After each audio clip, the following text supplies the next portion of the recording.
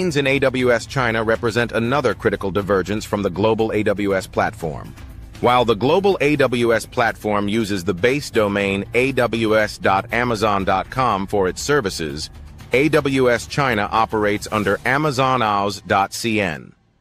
This ensures that all operations within AWS China are geographically localized, adhering to China's strict data residency and cybersecurity regulations.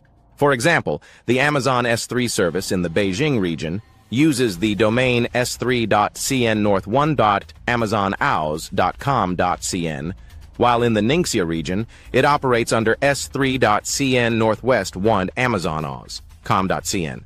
Similarly, Amazon EC2 uses ec2.cn north 1 on amazonaws.com.cn for Beijing and ec2.cn